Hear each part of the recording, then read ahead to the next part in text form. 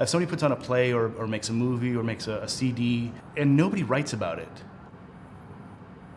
I mean, it's one thing if nobody comes, because that would be really depressing. But if nobody writes about it or responds to it in any kind of formal way beyond like "good job," "nice, nice job," that feels like the tree falling in the forest. It's sort of like you need to have some response to the work.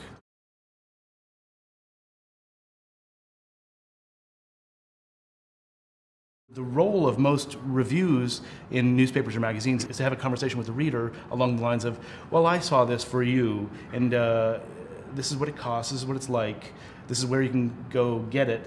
Is this worth your time? When it's really busy, I see about three to four shows a week. You know, so that means that can mean up to, you know, maybe 150 shows a, a year. When I sit down in a theater and you know, the lights come up, I'm aware on some level that there are a million decisions were made to get this work to this point that I that I don't know.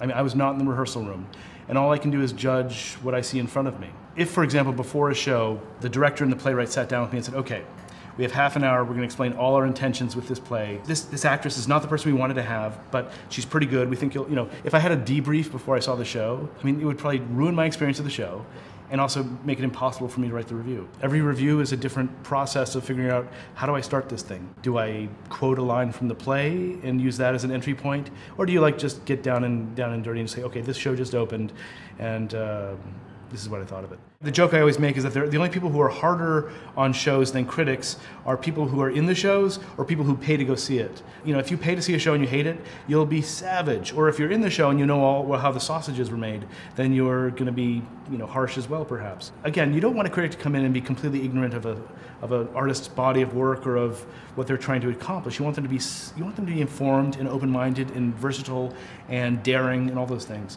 But you want them to come in fresh. So I mean, the, the potential for a review to have a multimedia element to it, which is really a full experience for the reader, is great. At the same time. Um, I also get a little worried that basically media companies aren't really interested in reviews because there's still this cultural perception of, of, of, reviews or critics as parasitical or just superfluous to the audience experience. I just hope that there's a middle ground between sort of the, the towering author cultural authority and gatekeeper and the person who doesn't really have any experience of the theater. I hope, there's some, some middle ground that a critic can, can occupy.